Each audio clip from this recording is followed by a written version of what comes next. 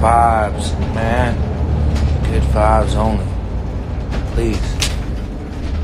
We just got the vibe tips in too. Tone, what up? It's been a long couple days. We just opened up Cookies Oakland yesterday. It was an incredible turnout. I've been on the bus all day, hitting dispensaries and showing them the new menu, smoking with the bud tenders. You know what I mean?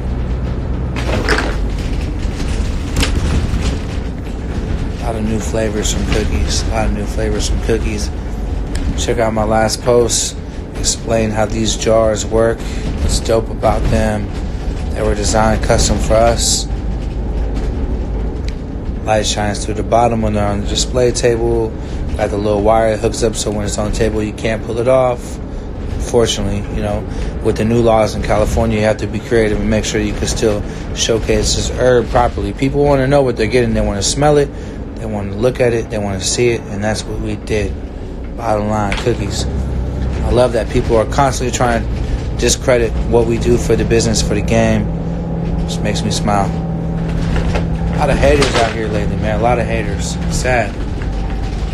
You know, my advice is never worry about what another man is doing. Period. Because I'm only worried about what I'm doing.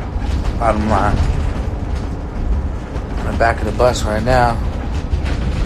It's been a long day. Long day. But I like long days, man.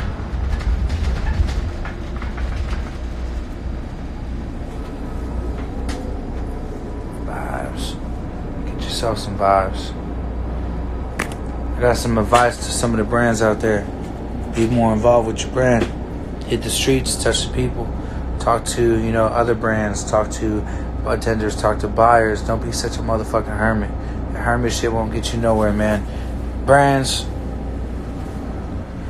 get out there. Show some love to the people that are supporting you. That's what I'm doing. I'm tired as fuck. It was a long day yesterday in Oakland. I'm still out here hitting these streets. We'll be pulling up the stores all day tomorrow. You know? What city? I don't know. What store? I don't know. But hopefully I see y'all. And if I pull up and I see y'all, we smoking something good.